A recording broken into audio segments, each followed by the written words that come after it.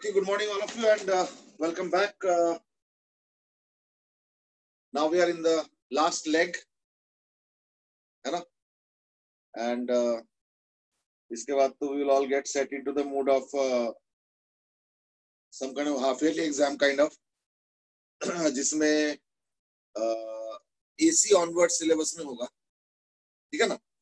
So that's what the plan is. Uh, but अभी time है, मतलब तो पंद्रह पंद्रह के आसपास होगा.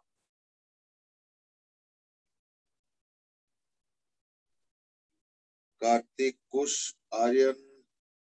Aryan asked a question and that is uh, half yearly और mid mid term same नहीं होता।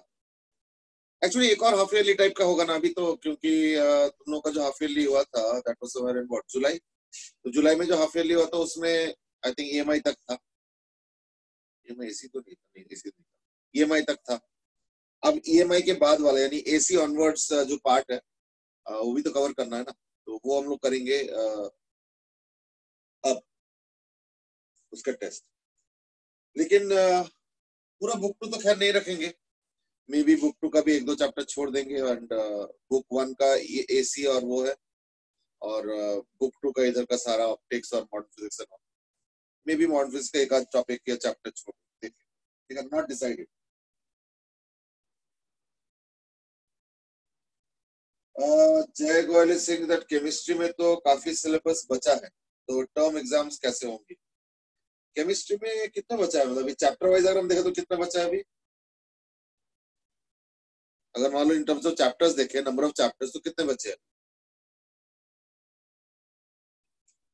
सत्यम, अभी तक तो कोई भी बच्चे स्कूल आए हैं एक बार भी। वेल नॉट रियली कोई बच्चे अभी तक स्कूल तो नहीं आए that is also reality Manan good morning Satyam तो मतलब ईएमआई तक का कुछ नहीं आएगा। एजम्पशन तो यही है। अच्छा अक्षित सिंह की अभी तो चार से ज़्यादा चैप्टर्स बचा है। सत्यम से इसकी साढ़े पाँच बचा है। साढ़े पाँच चैप्टर्स बचे अभी। इतना कैसे बच गया? ओके मनन से इसकी केमिस्ट्री में तो टू थर्ड ऑर्गेनिक अभी बचा है। चलो anyway let's start finally we were discussing about aspects of communication तो हमने कल एक छोटा सा चीज़ किया था कि कैसे एक साउंड सिग्नल को मोबाइल के अंदर माइक्रोफोन के ज़रिए हम लोग उसको इलेक्ट्रिकल सिग्नल में कन्वर्ट करते हैं। ठीक है ना? इलेक्ट्रिकल सिग्नल में कन्वर्ट करते हैं। So that is done by the microphone और माइक्रोफोन कैसे करते हैं ना? उसकी टेक्निकलिटीज क्या है ना? उसके अंदर एक पीजो इलेक्ट्रिक डिवाइस है और वो जो पीजो इलेक्ट्रिक डिवाइस है वो प्रेशर सेंसिटिव रेजिस्टेंस है। तो जैसे प्रेशर का वेरिएशन होता है sound is a pressure wave तो जैसे जैसे प्रेशर का वेरिएशन होता है तो वो पीजो इलेक्ट्रिक मेटेरियल के अंदर भी वो प्रेशर एक्ट करता है तो उसका रेजिस्टेंस भी ऐसी वेरिएशन होता है। So therefore current में भी उसी pattern का variation so therefore uh, what we see is that uh, you know some kind of a, a replica of the sound wave in terms of a electrical wave तो frequency तो खैर बिल्कुल बराबर same रहता है। So on. So this is what we have seen I ठीक है ना? दिव्यम से इसकी अगर सीपीटी के दिन फिजिक्स के क्लासेस नहीं काटते तो अब तक तो खत्म ही हो गया होता। हाँ दैट्स आल्सो राइट है या नहीं? चलो करें नहीं तो let's understand the communication system on the whole यानी ब्रॉडली तो कम्युनिकेशन में देखो क्या होता है? uh, सबसे पहले होता है information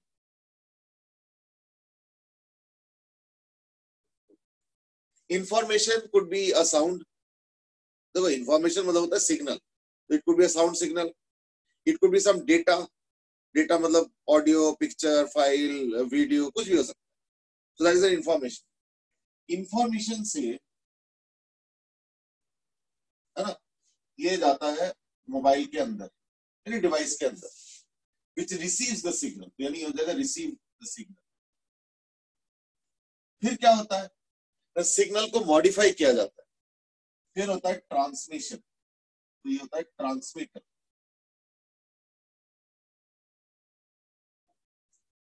ट्रांसमीटर ट्रांसमिट कर देते हैं एंड सेंड इट नाउ जिस मीडियम से सेंड हो रहा है that medium is called as a channel यानी यहाँ से जाता है what is called as a channel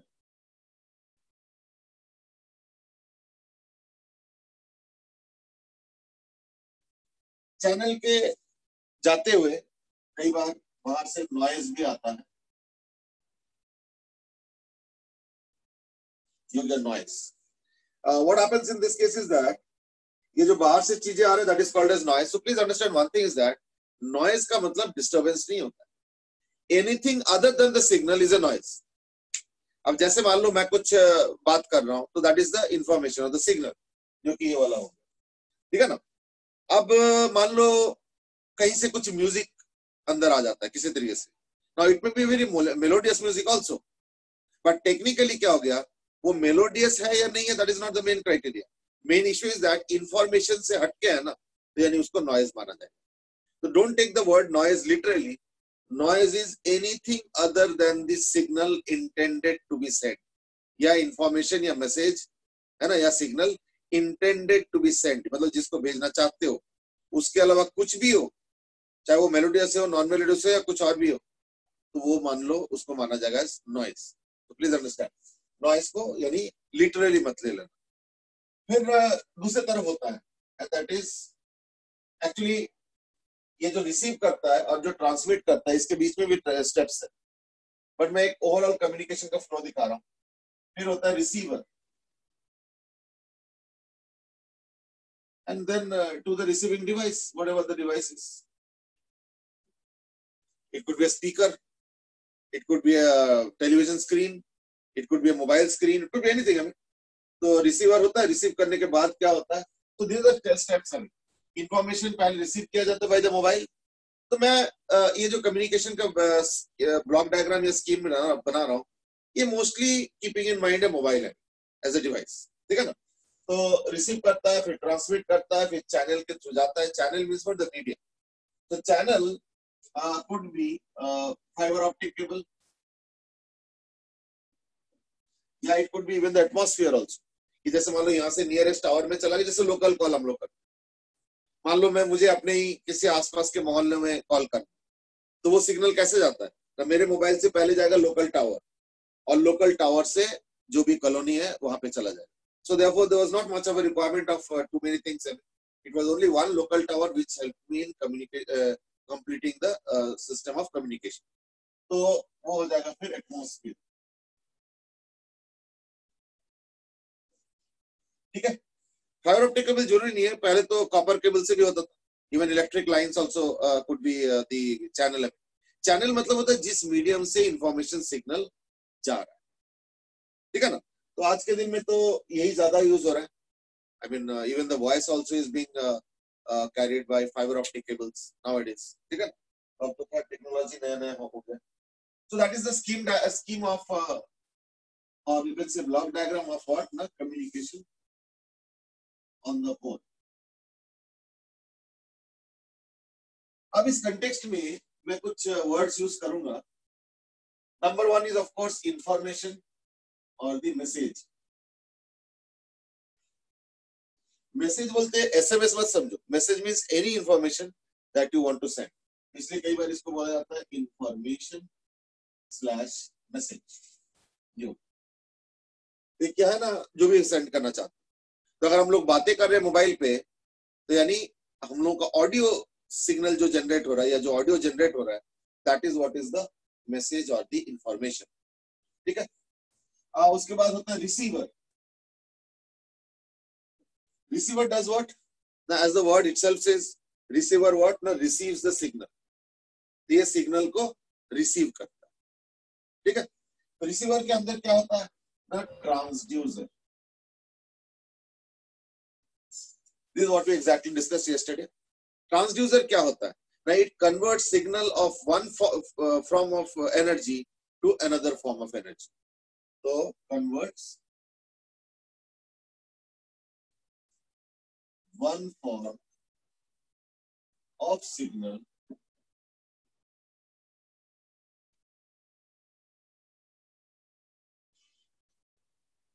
to another form.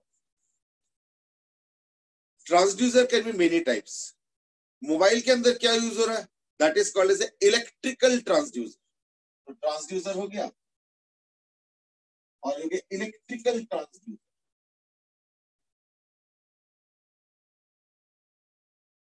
Means what जिसमें कुछ भी अगर इनपुट आता है, कुछ भी इनपुट आता है it converts finally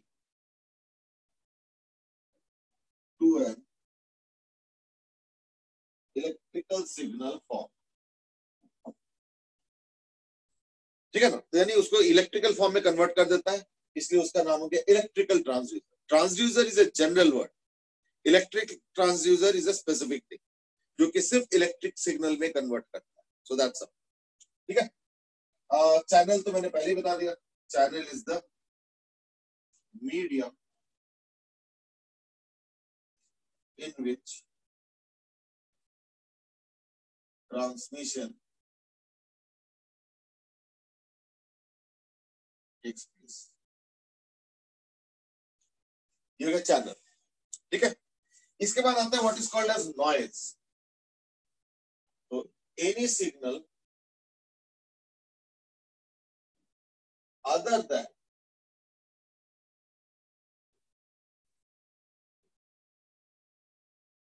the source signal is called as noise ये तो हमने पहले ही बताया। ठीक है ना? उसके बाद आता है what is called as attenuation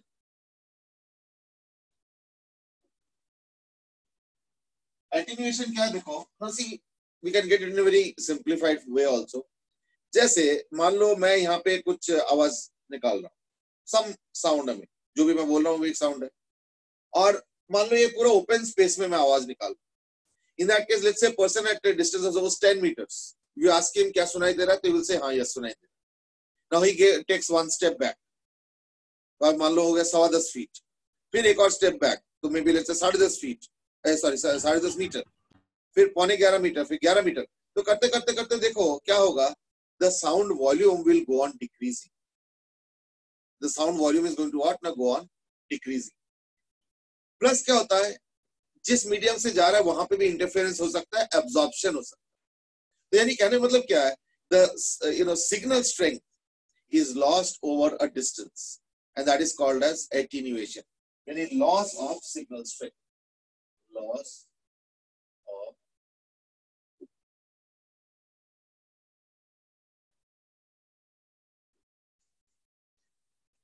loss of signal strength uh, Rohan says I got disconnected. What have we done till now? We have not done much actually. These are very basic uh, terminologies. I mean, so maybe you can just uh, read them once. You will understand. Uh, अगर yesterday अगर you if you were there, तो you would know कि transducer के ऊपर कैसे कैसे analysis होता है या कैसे कैसे होता है मोबाइल के अंदर तो हमने कल डिस्कस किया So actually what we have done is that we have not, not done anything new really.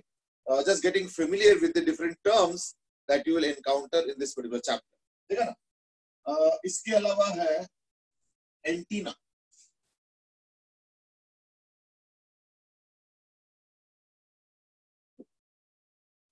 is a device to receive and transmit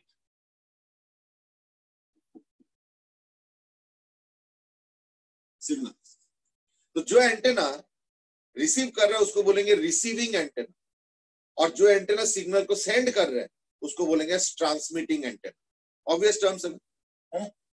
यानी ट्रांसमिटिंग ट्रांसमिटिंग और So, it can be receiving antenna or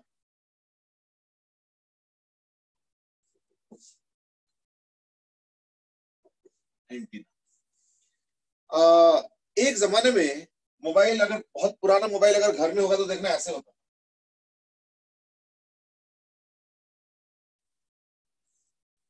अब तुम लोग ये डंडी सा क्या है? खैर, ये तो देखो, बाहर से तो प्लास्टिक का कवरिंग या कुछ होगा बट अंदर क्या होता था, इसके अंदर एक मेटल पीस होता था। That use to be the antenna से अब कहाँ चला गया? आपके एंटीना का ज़रूरत नहीं है? एंटीना तो अभी भी है। लेकिन क्या हो गया कि अब एंटीना का साइज़ का रिक्वायरमेंट कम हो गया। अब क्यों कम हो गया, कैसे हुआ and all that is also technological thing will discuss that तो अभी साइज़ का कम हो गया रिक्वायरमेंट तो अब यहीं पे एंटीना आ जाता है, पीछे से कहीं पे तो देयरफॉर हमें दिखता नहीं। बट एंटीना तो आज भी है। एंटेना के बगैर इलेक्ट्रॉनिक डिवाइसेस जो कम्युनिकेशन डिवाइसेस वो नहीं काम कर सकते। ठीक है ना? So that's what receiving and transmitting antenna is यो इसके अलावा आता है what is called as repeater अब रिपीटर क्या है? अब देखो सपोज़ uh, uh, जैसे मैं जहाँ पे रह रहा हूँ उसके जो नियर बाय मार्केट कॉम्प्लेक्स है उसके ऊपर एयरटेल वालों ने एक एंटीना लगाया। क्यों लगा हुआ obviously they've to cater to the customers in in and around this place तो उसके लिए उन्होंने मार्केट कॉम्प्लेक्स के ऊपर एंटीना आई एम श्योर तुम लोग भी रास्ते में आते जाते कई जगह देखा होगा, किसी के घर में एंटीना पड़ा हुआ है, या मतलब लगा हुआ है सिस्टम पूरा, या कई बार कुछ शॉपिंग कॉम्प्लेक्स में लगा हुआ है। आजकल तो जहाँ मिलता है, कई बार खाली स्पेस में लगा हुआ है किसी किसी जगह पे मंदिर के आसपास लगा हुआ है, वगैरह वगैरह, जहाँ जहाँ जैसे जगह मिलता है उसका खर्चा भी आता है। तो that antenna will receive the signals from quite a few mobiles तो ऐसे हर एंटेना का या एक एंटेना का सिस्टम बनाया जाता है ट्रांसमिटिंग सिस्टम बनाया जाता है टावर बनाया जाता है उसमें एक सर्टेन कैपेसिटी होता है। Is to uh, be able to handle suppose uh, uh, 2000 calls at a time. यानी वो जो टावर डेवलप किया है एयरटेल वालों ने उसमें एक at a time 2000 calls in and out हो सकता है। जैसे ही नंबर ऑफ़ सब्सक्राइबर्स बढ़ जाएँगे तो क्या होगा ना एट ए टाइम जो नंबर ऑफ़ कॉलर्स होंगे वो बढ़ जाएँगे। या इवन कई बार ये भी दिक्कत आ जाता है जैसे मान लो कोई फेस्टिव सीज़न हो गया, उस समय ज़्यादा लोग कॉल करते हैं इधर उधर है या नहीं? तो उस समय भी प्रॉब्लम आता है, इसलिए देखो कई बार कॉल ड्रॉप कॉल ड्रॉप ये सब ज़्यादा होता है उस टाइम क्यों? क्योंकि लोड बहुत ज़्यादा पड़ता है उस टावर के ऊपर। तो कई बार वो फिर, है ना यू नो मिस फायर कर जाता है या कह सकते हो कि ठीक से काम नहीं करता है एंड सो ऑन तो कहने मतलब क्या है कि इतने कॉल्स वो हैंडल कर सकते अब वो देखो उसका एक रेंज होगा। क्यों? भाई वो एक सर्टेन हाइट पे है। तो अगर तुम लाइन ऑफ़ साइट भी कर लो तो टेंजेंट तक जा सकता है। So therefore, each tower can cater to a certain radius एक और प्रॉब्लम भी है। The only issue is not about the radius alone ये भी ये भी एक इशू है कि जितना हम टावर से दूर जा रहे हैं अर्थ के ऊपर तो इन दैट केस टावर का जो सिग्नल स्ट्रेंथ है, वो भी रिड्यूस कर जाता है। वो भी रिड्यूस कर जाता है। तो अगर वो रिड्यूस कर जाए तो ऑब्वियसली फिर सिग्नल स्ट्रेंथ अगर रिड्यूस कर जाए तो वो क्या करेंगे? है ना? तो क्या करेंगे? ना we need another antenna so what what will it do ना, पहले वाले एंटेना का जो सिग्नल्स है, वो अब सेकेंड एंटेना रिसीव कर लेंगे। ठीक है? और फिर वो ट्रांसमिट कर देंगे। So therefore let's say there's a this a let's say there's an antenna though this antenna might cater to this point but maybe we will not prefer it क्यों क्योंकि इतना दूर जाते जाते ना सिग्नल स्ट्रेंथ वैसे ही कम हो जाता है So what we'll prefer is that let's have an antenna here. So that this will receive this and this will then transmit to this. So the distance between the user, end user and this antenna has reduced. तो उससे क्या होगा उसका जो signal strength होगा वो क्या होगा? बेटर होगा। है या नहीं? तो ऐसे अच्छा कई बार अगर पर्सन यहाँ पे हो तो maybe will need another one तो ये जो मल्टीपल एंटेनास के रिक्वायरमेंट हो रहा है that is what is called as the repeater तो रिपीटर का मतलब क्या होता है? Set of antennas from the source to the destination उसके बीच में जो मल्टीपल एंटेनास पड़ा हुआ है that is what is called as repeater repeat नाम इसलिए दिया जा रहा है क्योंकि इसका सिग्नल ये रिपीट कर दे फिर इसका सिग्नल ये सिग्नल अगर यहाँ आ गया तो वो रिपीट कर दे तो क्योंकि वो सिग्नल को सिर्फ़ रिपीट कर देता है, यानी आता है और उसी को रिपीट कर देता है। ये उसका काम है। इसलिए इसलिए ये हो गया ट्रांसमिटिंग एंटेना ये हो गया ट्रांसमिटिंग एंटेना तो ये हो जाएगा ट्रांसमिटिंग एंटेना ये हो गया रिपीटर ये भी हो गया रिपीटर और मान लो एंड यूज़र यहाँ पे है तो ट्रांसमिटिंग से रिपीटर रिपीटर से एक और रिपीटर और फिर फाइनली यहाँ पे जो डेस्टिनेशन है जो बंदा सुन रहा है या जिसके साथ मैं कम्युनिकेट कर रहा हूँ डेस्टिनेशन वो फाइनली ऐसे हो गया। So that is what the role of repeater is ठीक है ना? तो what does repeater help in maintaining signal strength and also to carry signal to distances beyond LOS.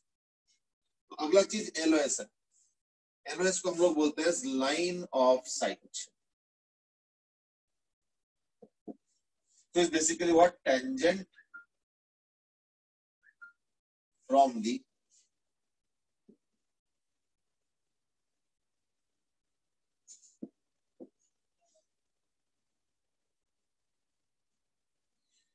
ये हो गया इसका एलओएस लाइन ऑफ़ साइट यहाँ से आता this distance is called as the LOS distance line of sight का distance ठीक है ना? तो वो कुछ नहीं बस एंटेना से एक टेंजेंट बना दो और तो स्फेरिकल एंटेना जहाँ पे भी उसे टेंजेंट बना लो, उतने ही तक जो है कम्युनिकेशन पॉसिबल और रियल लाइफ में उतने तक भी नहीं हो पाएगा, क्योंकि उतने तक क्या होता है सिग्नल का स्ट्रेंथ काफ़ी कम हो जाता है। तो probably considering the number of calls that is being handle nowadays huge number तो क्या किया जाता है?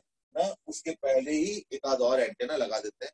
See the closer the antenna better is the signal strength at the end user लेकिन दिक्कत क्या हो जाता है कि नंबर ऑफ़ एंटेना अगर बढ़ाते हो तो that would add to the infrastructure cost that would add to the maintenance cost also add to the overall uh, bill uh, uh, mobile bill या जो भी टेलीकॉम बिल हमें so therefore it's a trade off दूर करोगे खर्चा बचेगा bill कम आएगा। लेकिन सिग्नल स्ट्रेंथ कम आएगा। और अगर आसपास रखोगे तो ऑब्वियसली एक्सपेंसेस ज़्यादा होंगे तो बिल ज़्यादा होंगे, लेकिन strength of the signal will be better it's always a trade off ठीक है ना? कि डिस्टेंस ज़्यादा करें या नहीं करें। ठीक है? Now see what other thing is there now comes the actual part of the chapter. जो असली part of the chapter. ठीक है ना?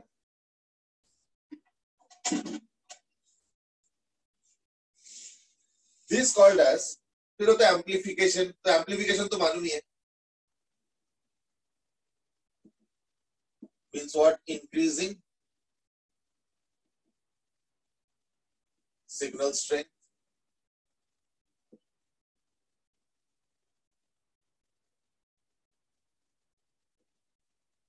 फिर आता है मॉड्यूलेशन और है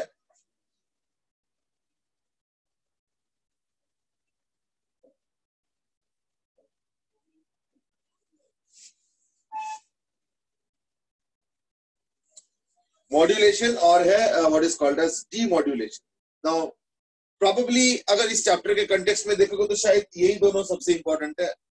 उसमें से ये ज़्यादा इंपॉर्टेंट है दैट इज़ मॉड्यूलेशन मॉड्यूलेशन क्या होता है, पहले मैं बता देता हूँ, और इसका ज़रूरत क्या है, वो थोड़ा देर बाद बताऊँ modulation means what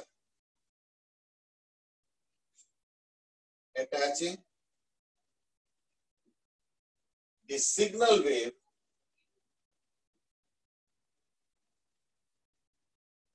on a very high frequency,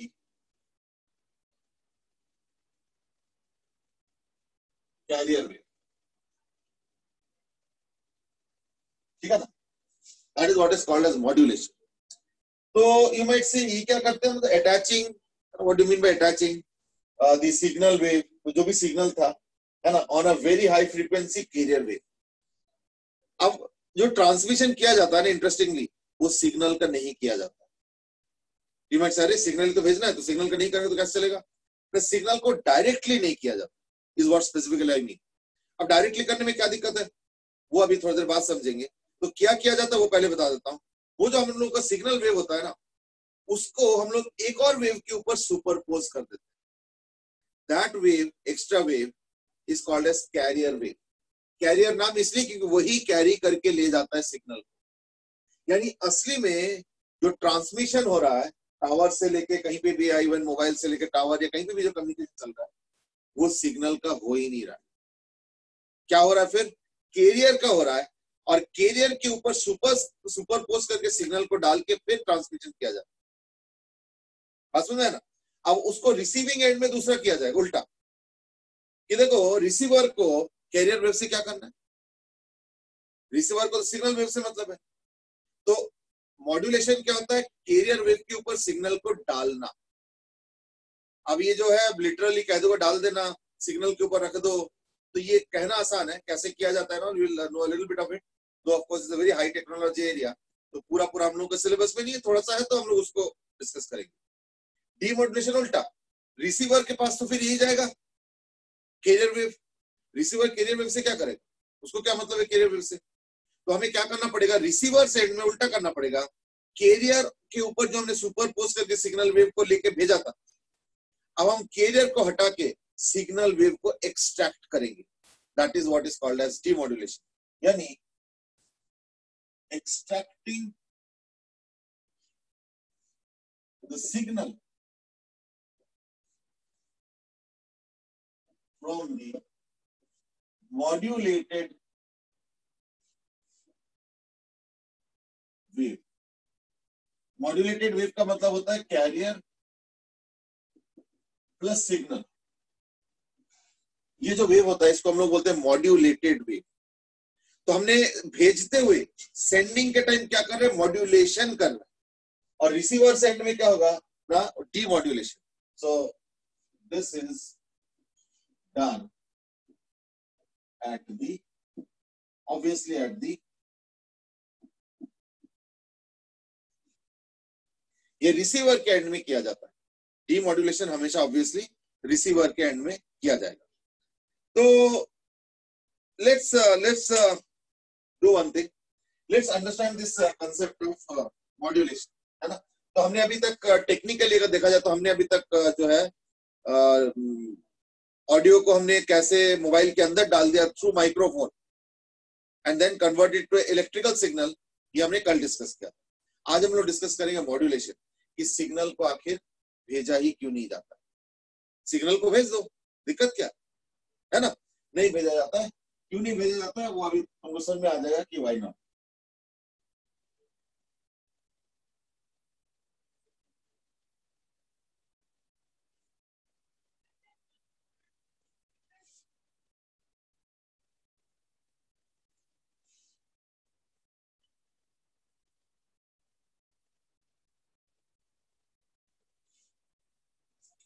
देखो before I go to the concept of sorry modulation and demodulation let's understand how does antenna function ठीक है तो let's focus on antenna antenna की is what nothing but a metal piece this इसमें तार होता है। तार सर्किट के जुड़ा होता है। तो इधर से इधर तार है, उधर से उधर तार है एंड सो इसमें क्या होगा? लाइट या आया या इलेक्ट्रोमैटिक वेव्स आया। Once this electromagnetic waves hit the metal antenna piece तो क्या होता है? ना उसके अंदर जो इलेक्ट्रॉन्स है फ्री इलेक्ट्रॉन्स है, वो क्या करते हैं? दे बाउंस या they oscillate as per this each electron oscillates as per the electromagnetic wave that is hitting it. तो इससे क्या होता है? देखो, जो इलेक्ट्रोमैटिक वेव आया, उसके जो ऑसिलेशन का पैटर्न है तो अब तो वो पूरे वायर में होगा। यानी अब क्या हो गया? पूरे वायर में, पूरे वायर में क्या हो गया? ना एक ऑसिलेटिंग इलेक्ट्रॉन का सिस्टम प्रोड्यूस हो गया। Oscillating electron is what oscillating current current में क्या होता है? यही तो होता है ऑसिलेटिंग होता है ऐसे ऐसे, फिर ऐसे फिर ऐसे फिर ऐसे। That is what is the signal being converted to electrical one यानी ये भी एक तरीके से ट्रांसड्यूसर है कैसे इलेक्ट्रोमैटिक वेव को इलेक्ट्रिकल सिग्नल में कन्वर्ट कर दिया that is what is the role of antenna ठीक है ना यानी इलेक्ट्रोमैटिक वेव यानी इलेक्ट्रिक फ़ील्ड के सिग्नल को उसने जो है इलेक्ट्रिकल सिग्नल में कन्वर्ट कर दिया ओके अब ये एंटेना ने क्या किया? उसके पैटर्न को पकड़ लिया। जो इलेक्ट्रोमैटिक वेव का पैटर्न है, उसको पकड़ लिया। राइट तो ये अब सर्किट में चला गया, अब सर्किट क्या करेगा इसका वो सर्किट समझ। मैं अब उस पर नहीं जा रहा हूँ। Let's focus on this itself one two things number one is that ये जो इलेक्ट्रॉन के ऑसिलेशन होता है, ये purely because of the electric field part of the वो होता है, क्या बोलते हैं इलेक्ट्रॉनिक वेव होता है। So that's actually if you look at most of the properties of electromagnetic wave of the electrical part of the wave rather than the magnetic part of the wave. That is also relative. But anyway, let's leave that aside. अब हम focus करते हैं इसके ऊपर। तो देखो suppose एक इलेक्ट्रोमैटिक wave आया इस एंटेना के ऊपर। अब मान लो इलेक्ट्रोमैटिक वेव ऐसे है।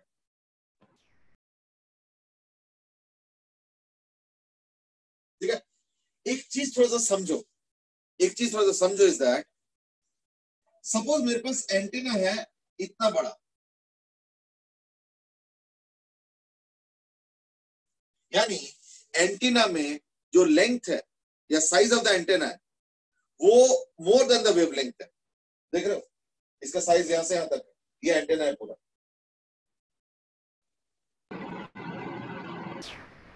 ठीक है? और ये हो गया वेव जो इनकमिंग वेव है। तो इसमें क्या हो रहा है देखो कि इस पूरे वेव के पैटर्न के हिसाब से इलेक्ट्रॉन्स ऑसिलेट करेंगे। तो यानी ये पूरे वेव का पैटर्न उस एंटेना में पकड़ में आ गया। हो गया। लेकिन जरा सोचो, अगर मान लो एंटेना का लेंथ सिर्फ़ इतना होता तो? तब तो सिर्फ़ इतने ही पार्ट का जो इलेक्ट्रोमैग्नेटिक वेव है, उसका जो इलेक्ट्रिक फ़ील्ड है और उसके जो फ़ील्ड का पैटर्न है, वो तो एंटेना को पकड़ में आ जाता। लेकिन ये जो बाकी पैटर्न है, ये तो पकड़ में नहीं आता। अच्छा ये ज़रूरी भी नहीं कि ये दोनों सिमेट्रिकल हो। तो may be not symmetrical also मैं जानबूझ के सिमेट्रिकल नहीं बनाता।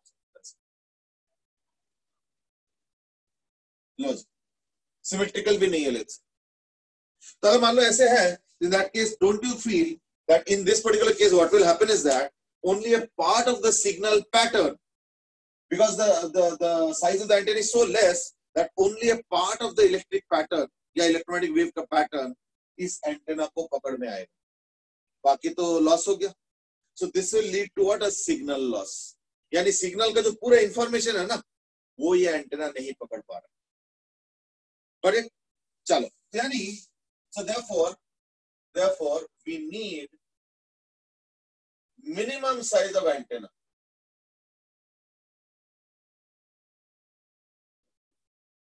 to pick up the pattern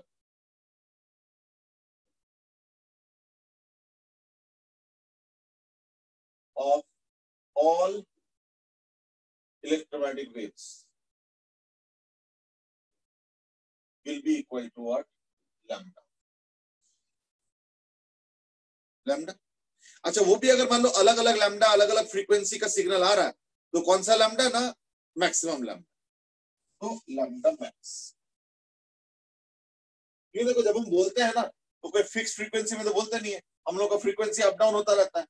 अगर हम लोग का फ्रीक्वेंसी अप डाउन होगा तो ऑब्वियसली लैम्डा भी अप डाउन होगा, या डाउन अप होगा। तो देयरफॉर देयरफॉर लैम्डा मैक्स चाहिए। अब लैम्डा मैक्स के हिसाब से हमें एंटेना का साइज़ चाहिए। हाँ एक चीज़ है। However, one thing is there that if the electromagnetic wave is a very symmetrical one, अगर इलेक्ट्रोमैटिक वेव बहुत सिमेट्रिकल है तो if however if the wave या signal wave is a sinusoidal or highly symmetrical one.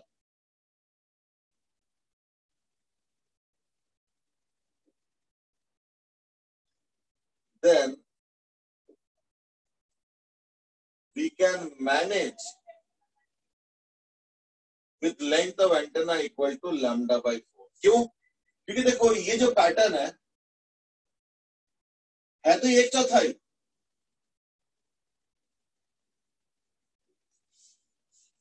अगर मैं length of antenna इतना लेता हूँ तो मैं एट ए टाइम इस वेव का सिर्फ़ एक चौथाई पार्ट पकड़ पा रहा हूँ। या उसको एब्जॉर्ब कर पा रहा हूँ उसे इंफॉर्मेशन को एक्सट्रैक्ट कर पा रहा हूँ। पर इससे मेरा काम चल जाएगा। क्यों? या कह सकते हो जस्ट चलेगा। क्यों? क्योंकि मुझे पता है कि यही सिग्नल ऐसे करके ऐसे करके बना लूँगा मैं। तो देखो कहने का मतलब क्या है देखो what is the role of the antenna the role of the antenna is to absorb the signal and help us us मतलब उस डिवाइस को रन करने में। To understand the pattern of the signal that is coming तो अगर highly symmetrical wave है, जैसे ये वाला वेव है सपोज़ एक इनकमिंग वेव आया ऐसे। इसमें भी ऐसी है अगर मान लो मैं एक चौथाई वेव भी पकड़ लेता हूँ, एक चौथाई वेव थ्रू द एंटेना तो हमारा काम चल सकता है। तो देखो if I ask you question what is the minimum size of antenna in the exam hall तो हम लोग जनरली बोलते हैं लैम्डा बाय फोर ना से अभी तो आपने लैम्डा बोला। तो लैम्डा जब बोला था देखो मैंने क्या लिखा था to pick up the pattern of all electromagnetic waves अगर हर टाइप के वेव के पैटर्न तुमको अगर पकड़ना इन दैट केस कितना भी कॉम्प्लिकेटेड से कॉम्प्लिकेटेड वेव क्यों ना हो इन दैट केस क्या चाहिए लैम्डा चाहिए? वो भी कौन सा? ना देखो जो इलेक्ट्रोमैग्नेटिक वेव्स आता है सिग्नल में, वो कोई सिंगल लैम्डा का नहीं होता, वो अलग अलग लैम्डा का होता है। तो उनमें से जो सबसे बड़ा लैम्डा है, उसके लैम्डा के कॉरेस्पॉन्डिंग मेरे साइज़ ऑफ़ एंटेना होना चाहिए मिनिमम देखो ज़्यादा बड़ा साइज़ ऑफ़ एंटेना है तो कोई नुकसान नहीं लेकिन कम एंटेना है तो दिक्कत क्या है कि कुछ part of the signal loss हो सकता है हो सकता है वो सिग्नल हम पकड़ नहीं पाए तो वो हम अफोर्ड नहीं कर सकते। So therefore for all types of signals, you need lambda maximum as the minimum length of the antenna. ठीक है ना? और अगर मान लो हाईली सिमेट्रिकल है तो in that case lambda by four से भी काम चल सकता है। तो अगर कल को एग्ज़ाम में आता है ना तो हम लोग generally answer lambda by four ही देते हैं। अनलेस की क्वेश्चन में बड़े अच्छे से लैंग्वेज में लिखा हुआ है that if a complicated wave pattern is to be picked up by the antenna, what should be the size of the antenna? तब हम बोलेंगे लैम्डा मैक्स यानी अगर मान लो एक मिक्स ऑफ़ वेव्स आता है तो उसके अंदर जो सबसे बड़ा लैम्डा है उसके बराबर। वो हो गया minimum size of antenna but अगर मान लो सिर्फ़ एक क्वेश्चन आता है एग्ज़ाम में कि what is the minimum size of antenna required और what is the minimum size of antenna with which you can manage तो आंसर हो जाएगा लैम्डा बाय 4 और एग्ज़ाम में जनरल देखना यही ज़्यादा बट रियल लाइफ में देखना यही ज़्यादा यूजफुल होता है। यही बात। ठीक है? I hope to make you understand कि कब लैम्डा और कब लैम्डा बाय 4 ठीक है? नाउ यू माइट से ठीक है तो लैम्डा बाय 4 होगा।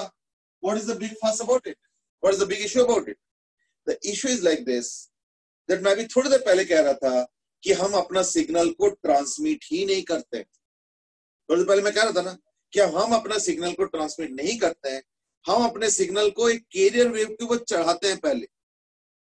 अब ये तो थोड़ा लिटरल लैंग्वेज हो गया। इसको टेक्निकली बोलेंगे सुपरपोज करते हैं on the carrier wave and then it is transmitted ये जो सुपरपोज वेव है, जिसमें कैरियर वेव के ऊपर एक सिग्नल वेव को ट्रांस वो कर दिया, उसको हम लोग बोलते हैं modulation as the process and modulated wave is output modulated wave को हम सेंड करते हैं। Now, what is the requirement modulation. Let's understand. चलो मैं कहता हूँ ये काम करो। कि क्या मॉड्यूलेशन मॉड्यूलेशन लगा छोड़ो नहीं करते। हम सीधे सिग्नल को साउंड सिग्नल को पहले इलेक्ट्रिक सिग्नल में कन्वर्ट करेंगे। वो तो हमारा माइक्रोफोन कर देगा। और इलेक्ट्रिकल सिग्नल को एक इलेक्ट्रोमैटिक वेव के फॉर्म में कर दो ट्रांसमिट देखते हैं जो होगा देखा जाए। चलो करते हैं। अप्रोक्सीमेटली uh, अगर तुम वॉइस सिग्नल देखते हो तो वॉइस सिग्नल वैसे तो मेल फीमेल ये सब वेरी करता है। बट कोई 200 300 400 ऐसी कुछ समझ लो। ठीक है? तो let's take a standard value of let's say suppose 400 hertz या 500 हर्ट्ज वैसे 500 भी होता नहीं है। 200 hertz so let's take a voice signal of, suppose 200 hertz ठीक है? इस वॉइस सिग्नल को पहले इलेक्ट्रिकल सिग्नल बनाएँगे। इलेक्ट्रिकल सिग्नल से उसको इलेक्ट्रोमैटिक वेव बनाएँगे। पर याद रखना, एक वेव का फ्रीक्वेंसी नहीं बदल सकता। तो therefore therefore let's this is the frequency of electromagnetic wave will also be equal to 200 hertz but we know that the speed of the electromagnetic wave is what in atmosphere is what speed of light and that is equal to 3 10 to the power 8 so therefore lambda is equal to three into ten to the power 8 by 200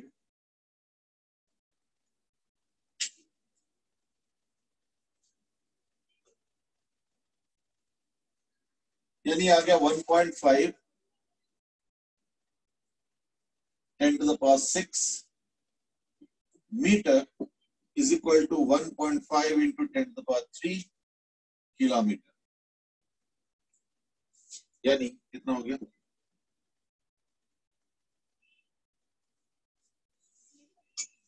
ये lambda हो गया। अगर तुम best के scenario भी ले लो, जिसमें लैम्डा बाय फोर का रिक्वायरमेंट होता है तो मैं क्या लिखूँगा? मिनिमम साइज़ ऑफ़ एंटेना है ना? Is equal to minimum size of antenna अब कितना हो जाएगा फिर? बहुत ज़्यादा हो गया। है ना? So the minimum size of antenna will become equal to what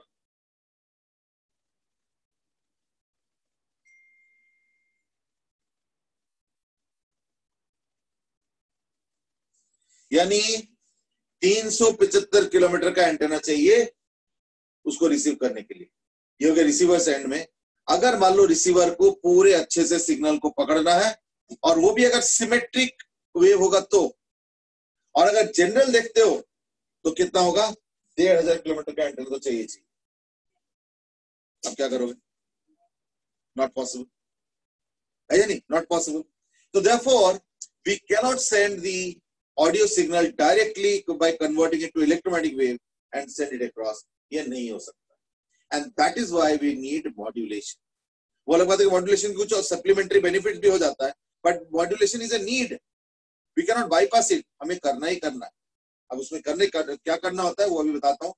uh, मैं उसके पहले एक बात क्वेश्चन ले लेता हूँ। कई सारे Uh, Shivam has asked, is modulation uh, the concept used to uh, encrypt calls and signals? No, no. Encryption is different. Modulation is different.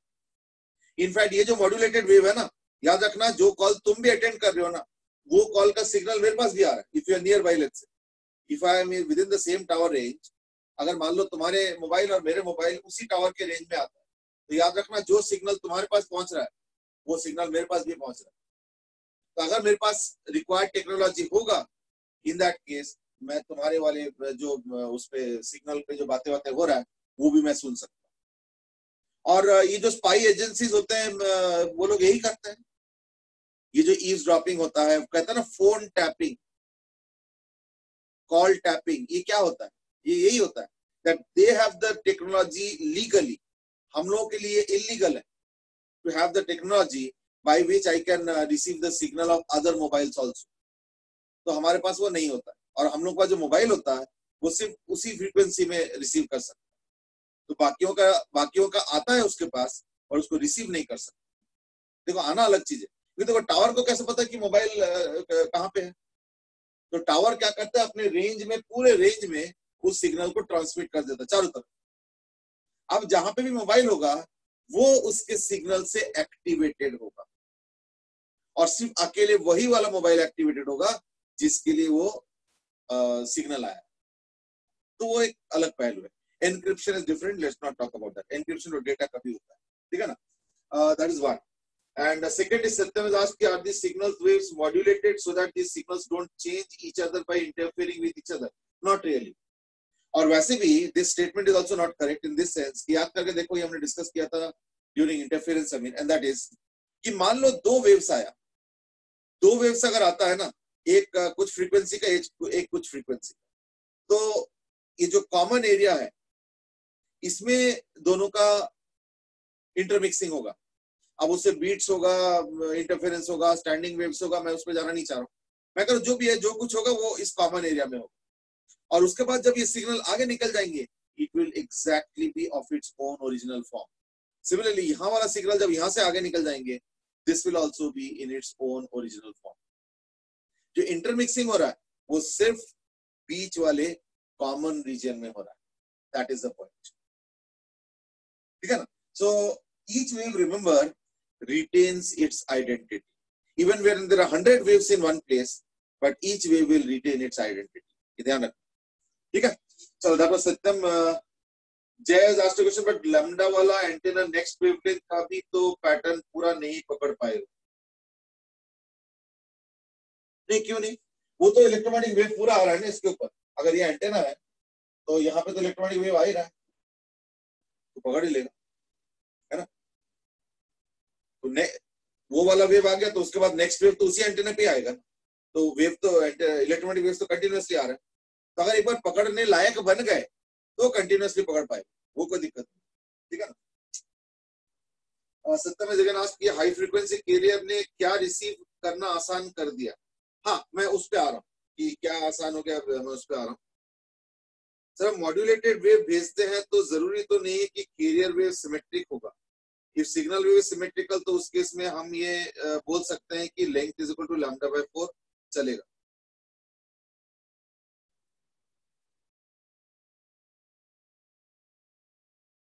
तो उस केस में हम ये बोल सकते हैं कि लेंथ इज़ लैम्डा बाय 4 चलेगा। See it's like this that जब uh, मतलब इसको इस तरह से रूल ऑफ़ थंब समझ लो इज़ दैट एग्ज़ाम में अगर पूछते हैं ना कि uh, जैसे सीबीएसई में पूछेंगे मेंस में भी पूछ सकता है। तो like what is the minimum size of antenna तो हम लोग स्टैंडर्ड आंसर देते हैं lambda by 4 assuming a best case scenario ठीक है ना? दैट्स द आंसर हमें। और बाकी जो मैंने लैम्डा मैक्स जो बताया that I said is for worst case scenario है ना? तो वर्स्ट केस सिनेरियो में लैम्डा मैक्स और बेस्ट केस सिनेरियो में लैम्डा बाय फोर तो एग्ज़ाम में जो है ना by default that's the you know you can say convention कह लो या जो भी कह लो the standard answer is lambda by four ठीक है ना? That's why I said that's the best case scenario ठीक है? चलो तो एनीवे तो people are asking about carrier and all तो मैं देखता हूँ कैरियर का क्या इंपॉर्टेंस है सिग्निफिकेंस है, ये थोड़ा में समझ आ जाएगा।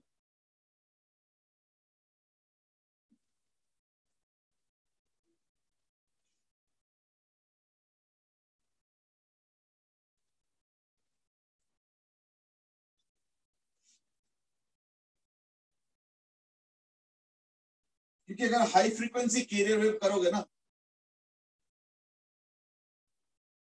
हाई फ्रीक्वेंसी कैरियर वेव अगर करोगे इन दैट केस क्या होगा? ना इन दैट केस जो साइज़ ऑफ़ द एंटेना उसका रिक्वायरमेंट कम हो जाए। अच्छा अगर over a period of time देखोगे तो देखो, पहले 2G था। मतलब एक certain frequency range so this increasing frequency उसके बाद फिर स्पेक्ट्रम का ऑप्शन हुआ। फिर हो गया three G three G four फिर फोर जी। अब तो फाइव जी का ट्रायल चल रहा है। एंड सो ऑन यदि हो क्या रहा है समझो? ये जो होता है, ये होता है कैरियर वेव का फ्रीक्वेंसी रेंज अब मुझे एग्जैक्ट फ्रीक्वेंसीज तो याद नहीं है कि टू जी में क्या रेंज ऑफ़ फ्रीक्वेंसीज था, फिर थ्री जी में क्या है फोर जी में क्या you can search in the net हमें एग्जैक्ट डेटा अगर चाहिए तो। But the concept is that जब एकदम टू जी होता है इन दैट केस क्या होता है कैरियर वेव का फ्रीक्वेंसी रिलेटिवली कम होता है। Carrier wave itself is a very high frequency wave पर वेरी हाई फ्रीक्वेंसी में let's say 5 into 10 to the power uh, you know 15 भी आता है और 9 into 10 to the power 15 भी आता है. तो दोनों ही फ्रीक्वेंसी है. है नहीं? तो 9 into 10 to the power 15 is a higher frequency तो मैं उसकी बात कर तो with in high also there is something higher even higher even higher and so on तो मैं उसकी बात कर रहा हूँ. तो 2G से ज़्यादा फ्रीक्वेंसी रेंज 3G 4G यानी कैरियर वेव का फ्रीक्वेंसी बढ़ता जा रहा है. तो अगर कैरियर वेव का फ्रीक्वेंसी बढ़ेगा तो लैम्डा घटेगा। तो ये लैम्डा भी घटेगा और लैम्डा बाय फोर भी घटेगा। चलो लैम्डा भी ले लेते हो अगर तो क्या होता है लैम्डा घट रहा है ना? तो therefore what is happening is that slowly the size of antenna का जो रिक्वायरमेंट है, वो कम होता जा रहा है। So therefore, this is reducing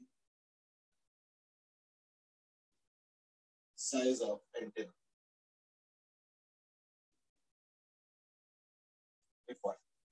इसलिए शुरू शुरू के जो मोबाइल आए थे उसमें बड़ा सा एंटेना होता था कई बार तो हम लोग सिग्नल वीक होता था तो एंटेना खींच देते थे कि भाई चलो ठीक है, थोड़ा सा और रिसीव हो जाए, है ना? तो शुरू शुरू में टू वाले के टाइम देखना फ़ोन ऐसे हुआ करता था? With provision that you can even increase the length also उसमें लेंथ ऑफ़ एंटेना ज़्यादा था। अब क्या हो रहा है फ्रीक्वेंसी रेंज जितना बढ़ता जा रहा है, अब तो 3G 4G में ट्रांसमिशन हो रहा है तो requirement of the size of the antenna is reduced very much तो क्या करते हैं मोबाइल के अंदर ही कहीं ना कहीं एक जगह में मेटल को एम्बेड कर देते हैं परमानेंट उसको बाहर खींचने विचने की कोई ज़रूरत नहीं। ठीक है ना? That's point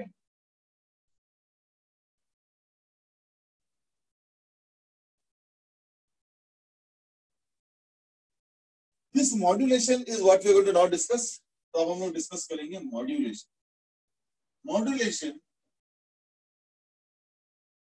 as I said is superposition. Modulation is superposition of signal wave on a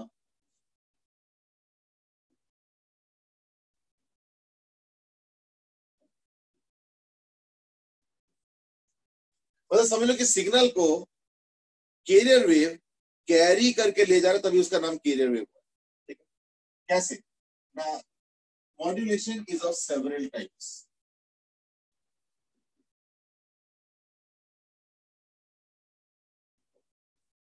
types of modulation इसमें क्या होता है?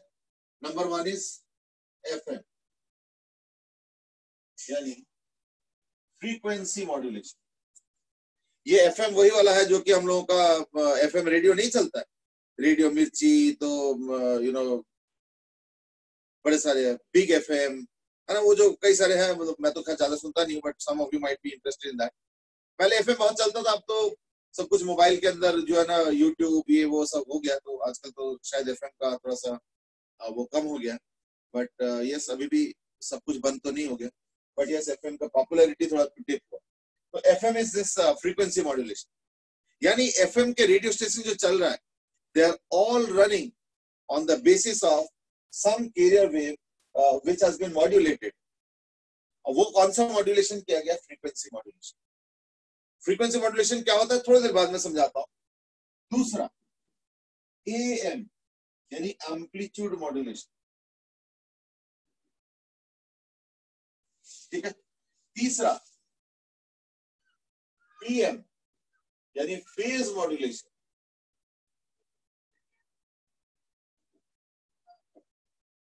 चौथा, एक और भी पीएम होता है that is called as pulse modulation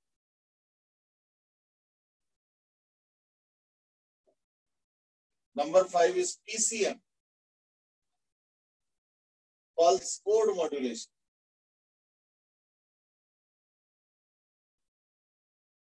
हम लोगों के सिलेबस ये है.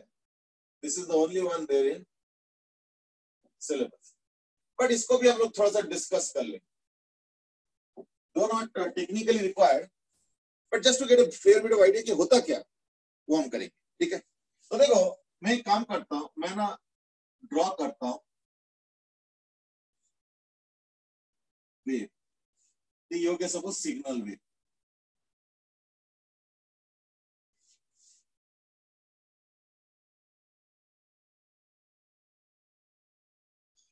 ये हो गया signal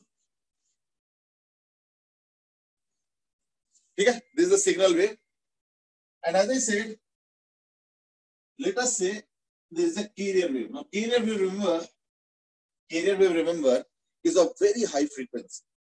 So you carrier wave.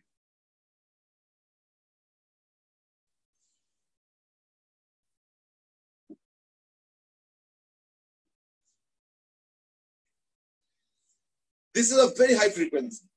Yes, no.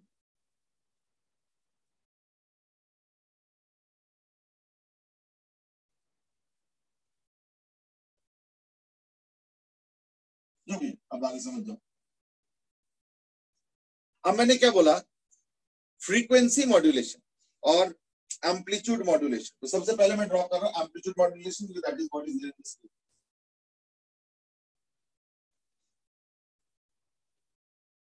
अब पता हम क्या करेंगे? ये जो कैरियर वेव है सॉरी ये जो सिग्नल वेव है, इसको कैरियर वेव के ऊपर डालेंगे तो उसका आउटपुट देखो क्या हो जाएगा। Output would be something like this amplitude modulation में जो आउटपुट आएगा वो आएगा ऐसे करके।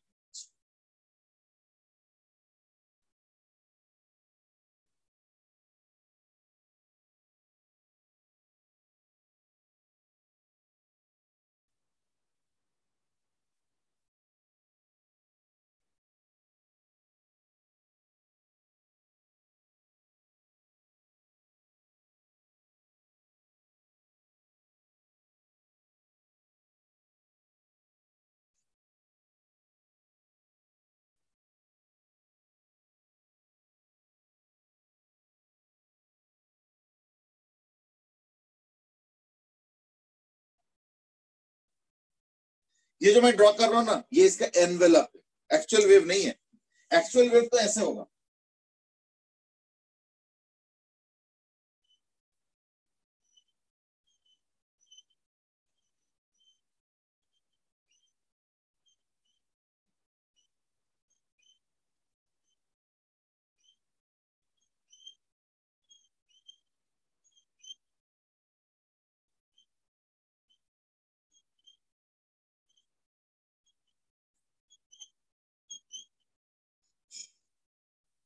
ये इसका फाइनल आउटपुट हो गया।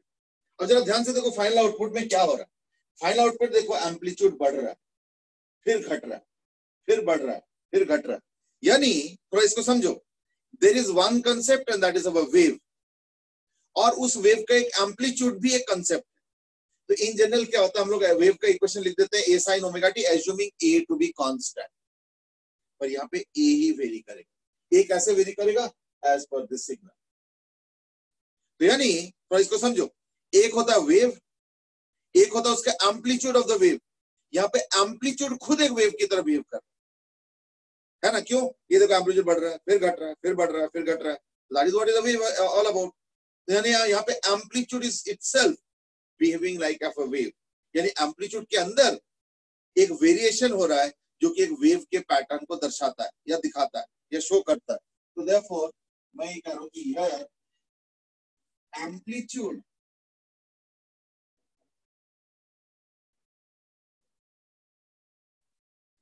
Of the final wave itself as a variation which is akin to a wave. इसलिए इसका बोला जा रहा है एम्पलीट्यूड मॉड्यूलेशन ठीक है यानी एम्पलीट्यूड खुद एक वेव की तरह वेरी करता मॉड्यूलेशन अब हम देखते हैं फ्रीक्वेंसी मॉड्यूलेशन में कैसे होता है ना? तो फ्रीक्वेंसी मॉड्यूलेशन में कैसे होगा? इसमें एम्पलीट्यूड नहीं बदलेगा। इसमें क्या होगा?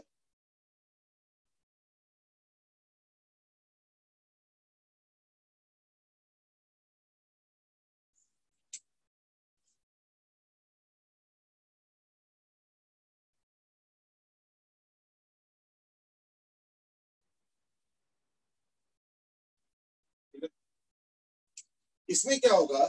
ऐसे। तो पहले तो कम फिर ज़्यादा।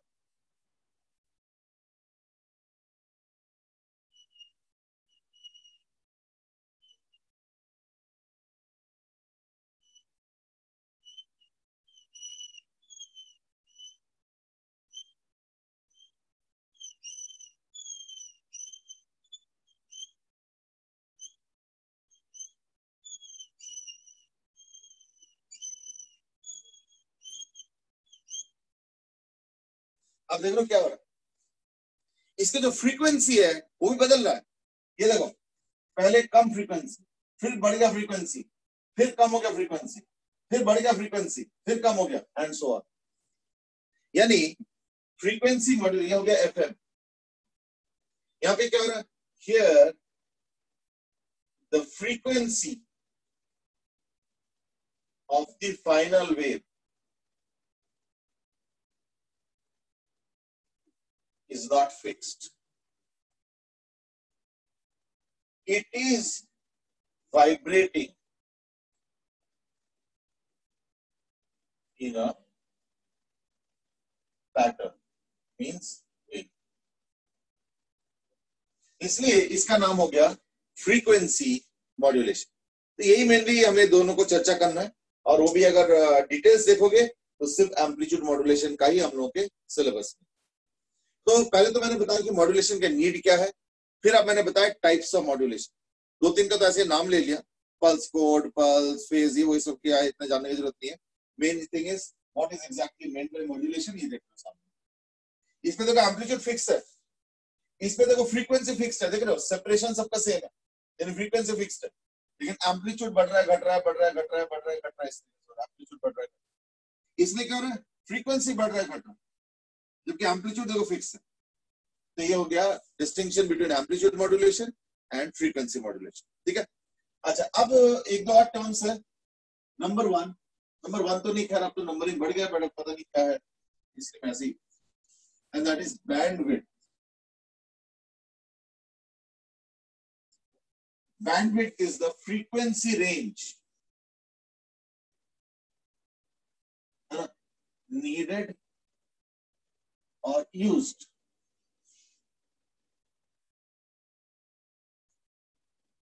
during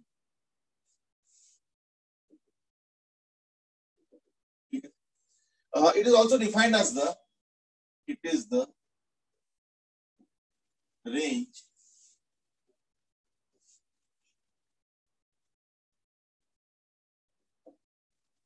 it is the range of the frequencies minimum से लेके maximum जो भी फ्रीक्वेंसी यूज़ हो रहा है that is what is called as the pat ठीक है ना? ये चीज़।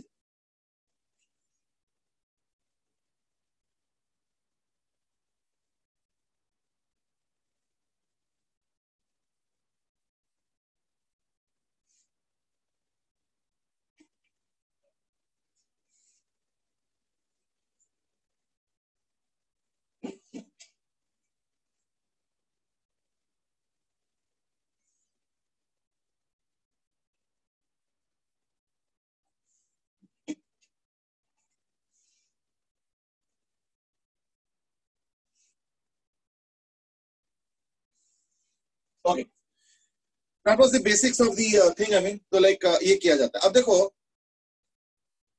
यू माइट बी थिंकिंग कि ये कैरियर uh, वेव के ऊपर चढ़ते कैसे? है ना? तो मैं सिर्फ़ एम्पलीट्यूड मॉड्यूलेशन के हिसाब बता देखो क्या होता है। लेटेस्ट से दिस कैरियर वेव तो क्या होता है? A C sine omega C T और लेट से जो सिग्नल वेव है सपोज़ वाई एम ये हो गया कैरियर वेव ये हो गया सिग्नल वेव तो ये हो गया A M sine omega M into T ना what do mean by amplitude modulation amplitude modulation मतलब होता है उसके एम्पलीट्यूड के ऊपर चढ़ा दे so, therefore, y finally which is the modulated wave या कह सकते हो एम्पलीट्यूड मॉड्यूलेटेड वेव तो क्या होगा? ना सिग्नल को कैरियर के एम्पलीट्यूड पे चढ़ा देना। यानी पता क्या होगा? A C plus A M sine omega M T देखो एम्पलीट्यूड को चढ़ा दिया। Into sine omega C this is what is output से ये गजब है, ये कैसे कर देंगे हम? भाई, दोनों को जो सुपर पोज करते हैं, उसमें तो वो फॉर्मूला लगता है। A one square plus A two square plus and all देखो यहाँ पे याद रखना it is not superposition of two waves it is the superposition of only the amplitude part of the wave तो यू माइट से ये हमारे चाहने से कैसे हो जाएगा? अगर हम चाहेंगे कि इसका सिग्नल का वेव पूरा एम्पलीट्यूड पर चढ़ जाए तो हमारे चाहने से थोड़ी होगा। बिल्कुल सही बात सोचा है। अगर मान लो तुमने ऐसे ही दो वेव्स को मिला दिया कैरियर और signal in that case what will happen is interference और उसका तो वही फॉर्मूले है A one square plus A two square plus इसलिए ये जो हमने लिखा है ना output these are done by very highly specialised electronic devices तो अगर पूछोगे कि भाई ये कैसे हो सकता है कि इसका पूरा सिग्नल जो इसके एम्पलीट्यूड के ऊपर अकेले घुस जाए? ये तो सवाल है। तो देखो, इसका answer is that as I said these are done by devices ये वाला पर्टिकुलर जो इवेंट होता है this is done by an electronic device called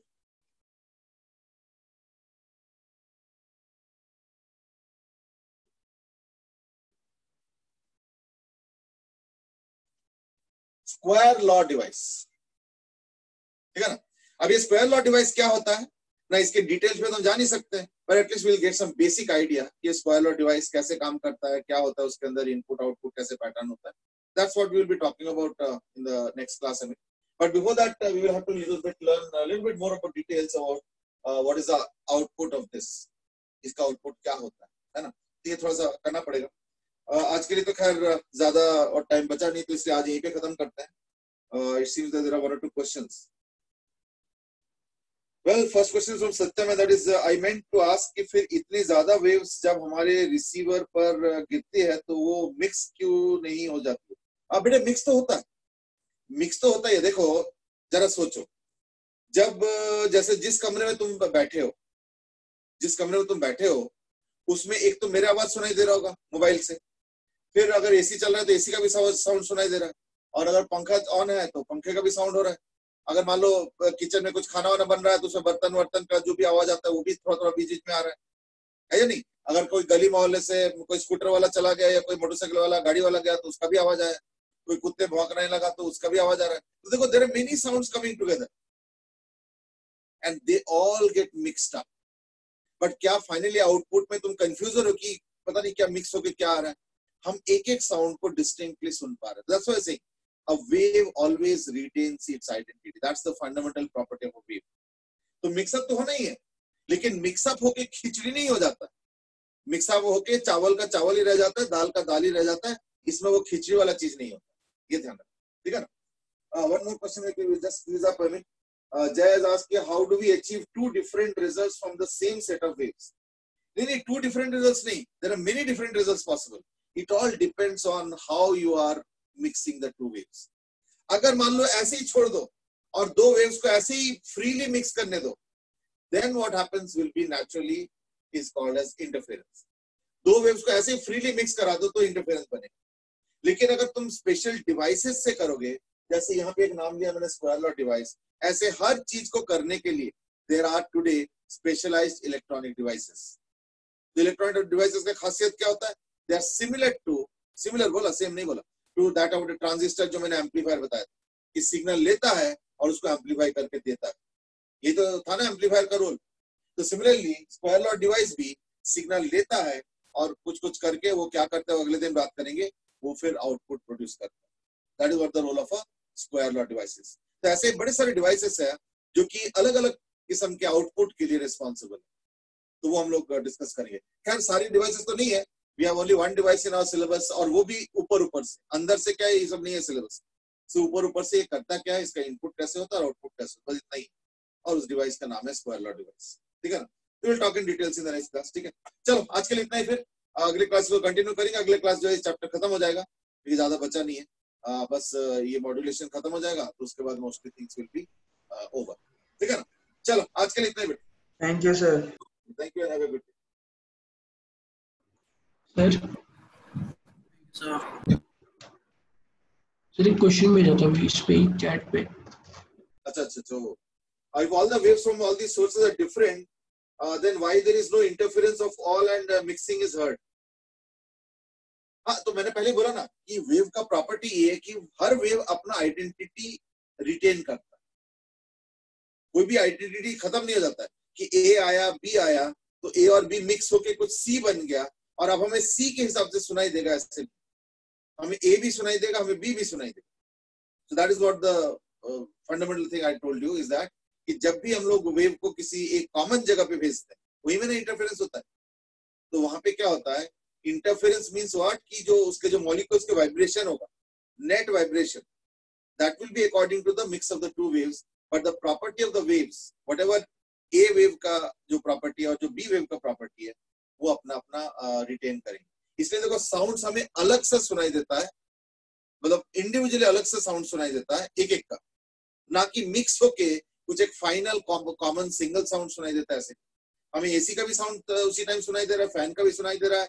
जो मैं बोल रहा हूँ, वो भी सुनाई दे रहा है। अगर घर में बातें हो रहा है तो वो भी सुनाई दे रहा है। गली मोहल्ले में कोई गाड़ी जा रहा है, कोई कुत्ते बिल्ली जानवर जा रहे हैं, उसका भी आवाज़ आ रहा है, हवा चल रहा है, शीशे सब कुछ। यानी ये सारा साउंड हम अलग अलग से सुन रहे हैं एट द सेम टाइम ऐसे नहीं होता है कि ये सारा साउंड मिक्स होके एक सिंगल साउंड बनेगा और वो एक सिंगल फनी सा साउंड को आवाज़ आवाज़ सुनाई देगा ऐसे नहीं होता। ठीक है ना? So each wave retains its identity ठीक है? चलो I will look into that ठीक है ना? अच्छा कुछ आया है? Kartik I will look into ठीक है? चलो ओके okay, आज के लिए इतना थैंक यू सर ओके